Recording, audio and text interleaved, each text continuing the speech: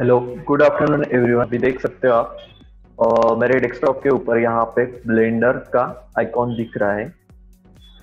दिख रहा है और दूसरा ऑप्शन है स्टार्ट मेन्यू में जाओ। स्टार्ट मेन्यू में जाने के बाद यहाँ पे देख सकते हो ब्लेंडर नाम का एक फोल्डर आ चुका है। तो यहाँ पे एरो कीज को क्लिक करो तो यहाँ पे आपको ब्लेंडर का आइकॉन मिल जाएगा। मतलब यहाँ पे आइडेंटिफिकेशन होता है कि सॉफ्टवेयर यहाँ से आपका चालू हो जाएगा। तो यहाँ पे आपके सामने एक विंडो दिख रही है। अभी तो बहुत सारे सॉफ्टवेयर में ये विंडो दिखती है। जैसे कि आपने भी पहले इस विंडो के जैसा काम किया है। मतलब एज अ यहाँ पे पूरा आपको क्या मिल जाता है कि फाइल्स किस तरह आप ले सकते हो, या फिर ओपन किस तरह कर सकते हो, या फिर अनदर इंफॉर्मेशन किस तरह चाहिए। तो इसको स्प्लैश स्क्रीन बोलते हैं। स्प्लैश स्क्रीन मतलब यहाँ पे आपको न्यू फ़ाइल वगैरह मिलती है। न्यू फ़ाइल वगैरह भी आप यहाँ से क्रिएट कर सकते हो।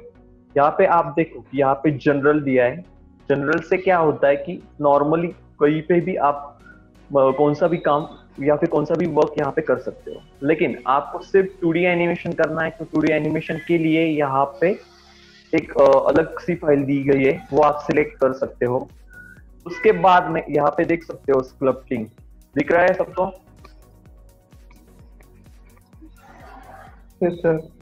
ओके तो स्क्लप्टिंग भी यहाँ पे दिया है। आपको वीएफएक्स में काम करना है तो वीएफएक्स का भी आप फ़ाइल यहाँ पे से ओपन कर सकते हो। उसके बाद में वीडियो एडिटिंग है। वीडियो एडिटिंग का भी आप यहाँ से ओपन कर सकते हो। मतलब इस सॉफ्टवेयर में आपको देखो टू भी है और वीएफएक्स का भी है वीडियो एडिटिंग का भी है और एनिमेशन का भी है। और एनिमेशन में एक कैटेगरी और दिए है उन्होंने स्क्लप्टिंग का।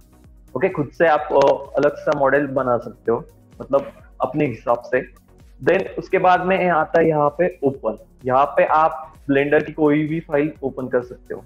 तो नीचे देखो कि यहाँ पे आपको ओपन अप ब्लेंडर फ़ाइल भी दिख रहा है और शॉर्टकट की उसकी दिख रही है. कंट्रोल ओ ओके यहाँ पे लास्ट में दिया है आपको रिकवर लास्ट सेशन मतलब लास्ट कोई भी आपने काम किया होगा तो ये, वो यहाँ पे रिकवर वगैरह भी हो सकता है.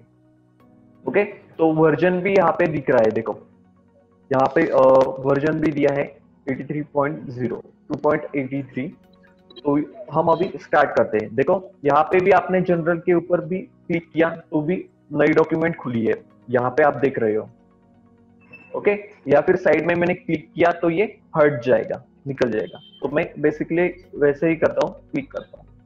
क्लिक करने के बाद देखो अभी, आपको ये पूरा नया मिल रहा है। मतलब अलग चीज़ है यहाँ पे। जैसे कि मैं जूम करके आपको दिखा देता हूँ। देखो, यहाँ पे एक क्यूब दिया है। मतलब ये क्या है आपका वर्किंग एरिया है। क्यूब एज एक मॉडल है या फिर क्यूब एक पार्ट है ऑब्जेक्ट है। यहाँ पे आप देख सकते हो, यहाँ पे एक कैमरा दिया है।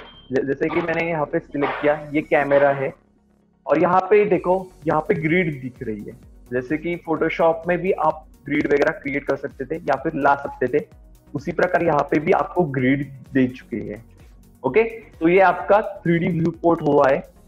इसको हम थ्री डी व्यू विंडो या फिर व्यू पोर्ट बोल सकते हैं। उसके बाद में आप हम एक कोने में जाते हैं। तो देखो, यहाँ पे एक आइकॉन दिया है ब्लेंडर का। एज ये टाइटल बार है आपका। ओके नीचे सपोज़ आप आते हो तो ये आपका मेनू बार हो चुका है। ओके अब तो आपको पता है कि फ़ाइल मेनू में क्या क्या आता है या फिर एडिट मेनू में क्या क्या आता है। खासकर चीज़ ये ही रहती है कि न्यू है ओपन है ओपन रिसेंट है, या फिर सेव है save as a save as copy है इंपोर्ट एक्सपोर्ट वगैरह भी दिया है और लास्ट में क्विट भी दिया है। ओके उसी प्रकार एडिट में आपको अंडो रीडो भी मिल जाता है। तो ये भी दिया है। कई जगह पे रिपीट लास्ट भी दिया है रिपीट हिस्ट्री भी दिया है। तो ये भी है। अब रेंडर के ऊपर आप, हम जब आते हैं तो रेंडर की प्रॉपर्टीज़ वगैरह यहाँ पे आपको दी गई है। विंडो में आते हैं तो विंडो में आपको वर्क स्पेस वगैरह चेंज करने की सेटिंग्स वगैरह दी गई है। और हेल्प में आपको उसके मैनुअल्स वगैरह या फिर ट्यूटर्स वगैरह मिल जाएँगे। ओके तो ये आपका मेनू बार हो चुका है। मेनू बार होने के बाद में यहाँ पे देखो लेआउट है मॉडलिंग है स्क्लप्टिंग है जूबी एडिटिंग है टेक्चर पेंट है शेडिंग है एनिमेशन है रेंडरिंग है और कंपोजिटिंग है, ये आपका इसेंशियल्स हो चुका है। मतलब वर्क स्पेस है। आपको सपोज़ मॉडलिंग में आना है तो मॉडलिंग को चेक कर सकते हो। स्क्रिप्टिंग में आना है तो स्क्रिप्टिंग का आपको यहाँ पे अलग सा दिख जाएगा। जैसे कि मैं थोड़ा सा मिनिमाइज कर देता हूँ। तो यहाँ पे चेंज हो रहा है, देखो। यहाँ पे यूवी एडिटिंग किया तो यहाँ पे अलग प्लेटफॉर्म आपको दिख रहा है। यहाँ पे मैंने टेक्सचर पेंट भी किया तो देखो यहाँ पे शेडिंग करता हूँ, शेडिंग का भी किया तो देखो। अलग अलग हिसाब से ये बांट गया है। यहाँ पे मैंने एनिमेशन का किया। तो एनिमेशन का करने के बाद देखो, यहाँ पे आपको अलग विंडो मिल गई है यहाँ पे आपकी टाइमलाइन वगैरह आपको मिल गई है। तो इस प्रकार आपको ये व्यू पोर्ट दिखता है। ओके तो आप पहले से ही लेआउट का इस्तेमाल करो। लेआउट का होने के बाद में आप देख सकते हो, यहाँ से भी आप आपका खुद का एक प्रीसेट्स वगैरह क्रिएट कर सकते हो वर्क स्पेस क्रिएट कर सकते हो। एड वर्क स्पेस मतलब आपके हिसाब से वर्क स्पेस चाहिए आपको तो वो भी यहाँ पे आपको मिल जाएगा। तो ये भी दिया है। उसके बाद में यहाँ पे देखो सीन का दिया है। यहाँ पे आप ब्राउज कर सकते हो, आपका जो कुछ सीन है तो सीन का भी दिया है आपको। यहाँ पे भी सिम का नाम वगैरह चेंज करना है, वो भी कर सकते हो ओके देन उसके बाद में आपको यहाँ पे लेयर्स का दिया है, कौन सी लेयर्स है? तो यहाँ पे व्यू लेयर्स भी आपको दिया गया है।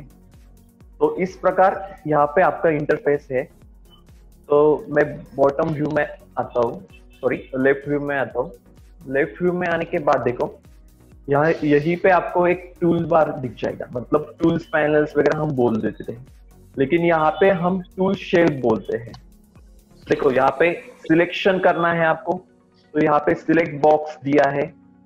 आप यहीं से बहुत सारे चीज़ सिलेक्ट कर सकते हो। जैसे कि मैंने कुछ देर पहले कैमरा भी सिलेक्ट किया था, या फिर कुछ देर पहले मैंने बॉक्स भी सिलेक्ट किया था क्यूब सिलेक्ट किया था, वो कर सकते हैं। उसके बाद में कर्सर नाम का एक टूल है, इससे भी बहुत कुछ बन सकता है। देन उसके बाद में यहाँ पे मूव आता है। मूव का मतलब आपको कोई भी ऑब्जेक्ट की मूवमेंट करना है एक्स वाई और जेड एक्सिस के हिसाब से। देन उसके बाद आता है रोटेट आप रोटेट वगैरह कर सकते हो, आपको रोटेशन देना है तो। ओके उसके बाद में आता है स्केल यहीं पे आप बहुत बार रिसाइज वगैरह कर सकते हो। और एक खास कर चीज़ है यहाँ पे देखो। यहाँ पे लास्ट लाइन में एक दिया है शॉर्टकट मतलब यहाँ पे शॉर्टकट भी उन्होंने मेंशन किया है।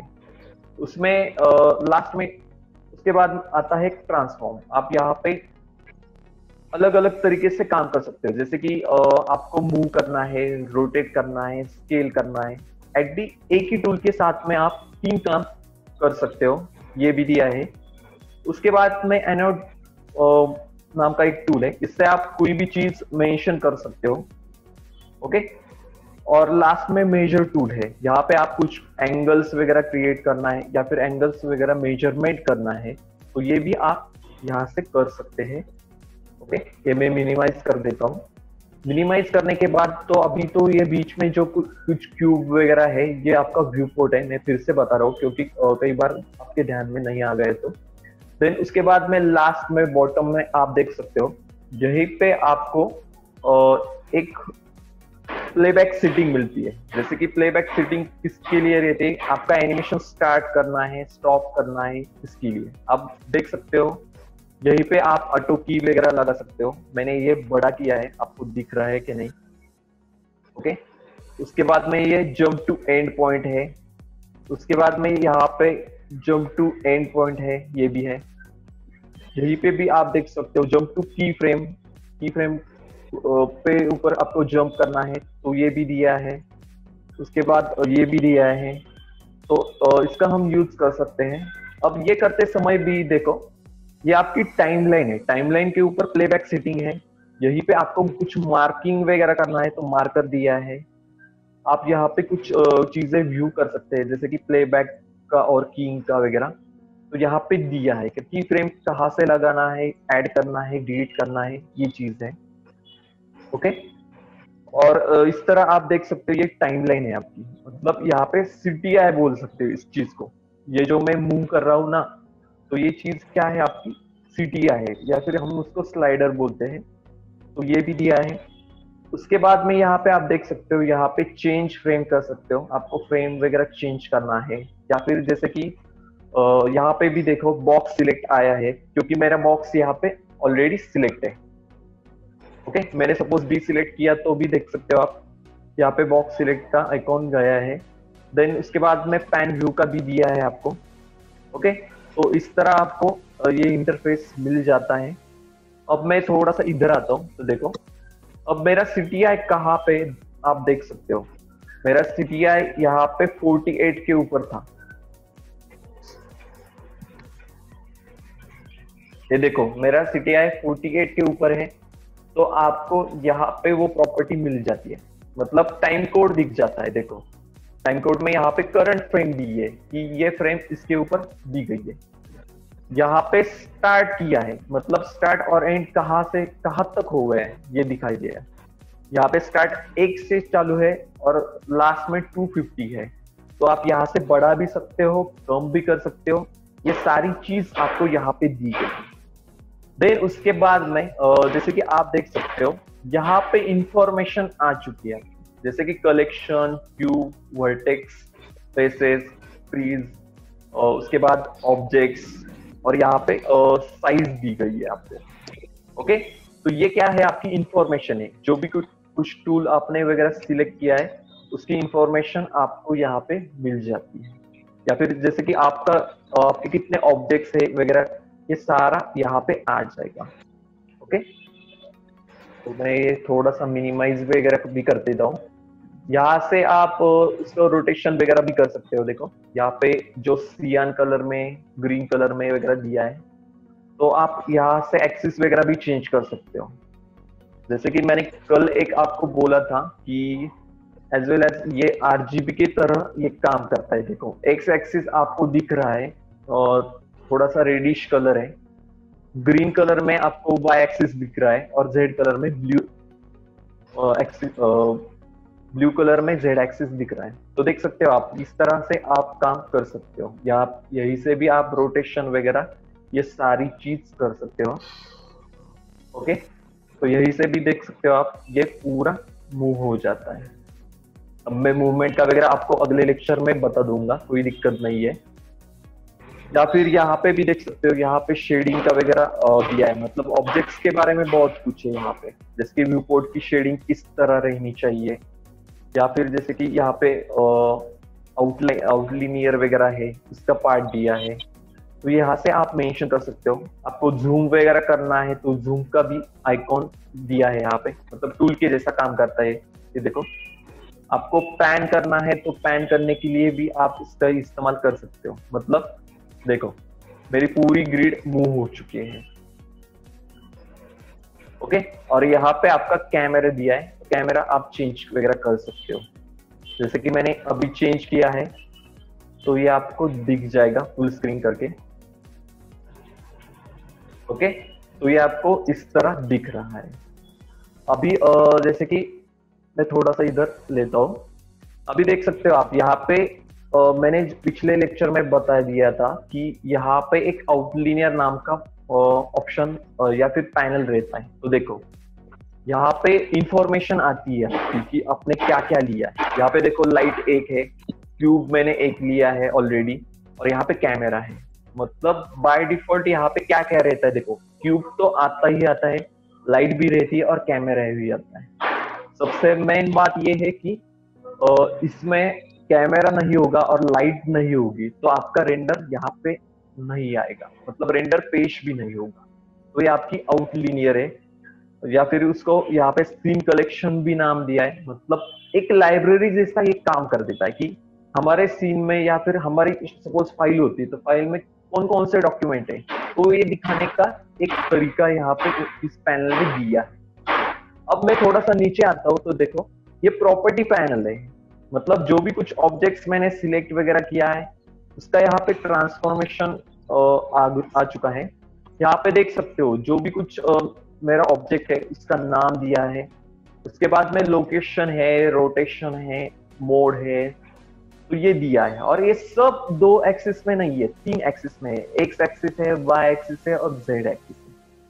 ओके तो इस प्रकार यहाँ पे प्रॉपर्टीज़ आपको मिल जाएगी। यहाँ पे भी अलग अलग चीज़ें हैं, ये मैं आपको जैसे हम सीखेंगे, वैसे मैं बता दूँगा आपको। ओके? तो वो इस प्रकार इंटरफेस है। ओके? तो सबसे पहले एक बार देखो, मैं फिर से एक बता देता हूँ। ये आपका टाइटल बार है, जैसे कि ब्लेंडर और नाम जो दिया है वो। इसके बाद में आपको मेन्यू बार दिख जाएगा, जैसे कि फ़ाइल से लेके तक हेल्प तक है। उसके बाद में आता है वर्क स्पेस वर्क स्पेस मतलब जैसे कि आपने एडोबी में वर्क स्पेस वगैरह चेंज किया था. जैसे कि इसेंशियल्स था पेंटिंग का था, उसके बाद टाइपोग्राफी का था. उसी प्रकार यहाँ पे लेआउटिंग है. मतलब मुझे मॉडलिंग करनी है तो मैं मॉडलिंग का सिलेक्ट करता हूँ. स्क्लप्टिंग करना है तो स्क्लप्टिंग का सिलेक्ट कर देता हूँ. यूवी का करना है काम तो यूवी का कर देता हूँ. टेक्सचर पेंट करना है तो टेक्सचर पेंट का भी ऑप्शन यहाँ पे दिया गया ओके उसी प्रकार यहाँ पे सीन्स नंबर ऑफ़ सीन्स आप ले सकते हो। मतलब ए एनिमेशन का सॉफ्टवेयर है मतलब यहाँ पे नंबर ऑफ़ सीन्स ले सकते हैं। और नंबर ऑफ़ सीन्स आप वहाँ पे एडजस्ट वगैरह भी कर सकते हैं। अभी देख सकते हो कि लेफ़्ट साइड में या हमने टूल पैनल शेप देखा था। मतलब टूल्स पैनल बोल सकते हैं या फिर टूल बार बोल सकते हैं। जैसे कि एडोबी में हमने बोला था। उसी प्रकार यहाँ पे आपको दिया है। राइट right साइड में आपने ये देखा था। जैसे कि सीन कलेक्शन देखा था, उसको मैंने आउटलिनियर भी नाम आपको बता दिया है। वो भी है। बीच में आपका क्या है? व्यू पोर्ट है। ओके वर्किंग एरिया बोल सकते हो आप कि कोई भी मॉडल बनाना है, कोई भी डिज़ाइन वगैरह बनाना है तो आप यहाँ पे बना सकते हो। ओके और राइट साइड में बॉटम राइट बॉटम साइड में ये देख रहा है आपको। ये है आपकी प्रॉपर्टी पैनल प्रॉपर्टी पैनल मतलब आपने आपके सीन में क्या क्या चीज़? है जैसे कि मेरा क्यूब सिलेक्ट है तो क्यूब का इंफॉर्मेशन आपको यहाँ पे मिल जाता है पूरा। ओके और बाकी के भी यहाँ पे आपको ऑप्शंस मिलते हैं। जैसे कि रेंडर प्रॉपर्टीज़ है, उसके बाद आउटपुट प्रॉपर्टीज़ है व्यू लेयर प्रॉपर्टीज़ है लेयर का भी वगैरह दिया है सीम प्रॉपर्टीज़ वगैरह दिया है। ओके तो इतना डेटा आपको यहाँ पे मिल जाता है। ओके और बॉटम में आपको यहाँ पे टाइमलाइन मिलती है। सबसे पहले प्लेबैक सीटिंग है। उसके बाद में आपको यहाँ पे टाइमलाइन मिलती है। स्लाइडर मिलता है। करंट फ्रेम आपकी कौन सी है, ये भी आपको मिल जाता है। ओके? तो इतना सारा है। मैं वैसे आपको शेयर कर देता हूँ। मतलब कई बच्चों को इंटरफेस के बारे में थोड़े सा डाउट्स वगैरह आया थे पीडीएफ फाइल्स वगैरह। कि इंटरफेस किस तरह है, क्योंकि मैं बता रहा था तो कुछ लोगों का ध्यान इधर उधर भी हो सकता है। तो इस प्रकार मैंने एक पीडीएफ भी की है, मैं आपको सेंड कर देता ओके किसी और को कुछ पूछना है, या फिर बताना है कि, सर, इस सॉफ्टवेयर में कुछ तो अलग दिख रहा है हमें, या फिर, हम टू डायमेंशन में काम करते थे, अब हम थ्री डायमेंशन में काम करेंगे? एनीवन क्वेश्चंस सर पॅनिंगचा शॉर्टकट काय शॉर्टकट कीज मी नंतर देतो तुम्हाला. आता सध्या तरी नाही देणार. बर ठीक आहे ठीक आहे. ओके बिकॉज ऑफ तुम्हाला शॉर्टकट कीज मी सेंड करणार आहे. अडचण नाही काही. ओके आणि इथे तुम्हाला सगळी प्रॉपरली इन्फॉर्मेशन पण दिलेली आहे. ओके आता हा जो कोई ऑब्जेक्ट बघताय हा ऑब्जेक्ट बघा. याचा टॉप सरफेस दिसतोय लेफ्ट बाजू दिसते राईट बाजू पण दिसते. ओके? हे पूर्णपणे थ्री डी मध्ये आणि इथे ग्रीडचा जास्तीत जास्त यूज़ होतोय. यहाँ पे ग्रीड का यूज़ होता है ग्रिड नहीं होगी तो आपका ऑब्जेक्ट किधर आपने ड्रॉ किया है, ये आपको पता नहीं चलेगा. ओके? सो नेक्स्ट लेक्चर में हम इसका वर्किंग देखेंगे या फिर नेविगेशन देखेंगे कि ये व्यू पोर्ट किस तरह रोटेट करना है, या फिर मूव कैसे करना है ये क्यूब या फिर इसकी साइज़ कैसे कम करनी है. ओके? तो यह सब हम यहाँ पे कर सकते हैं।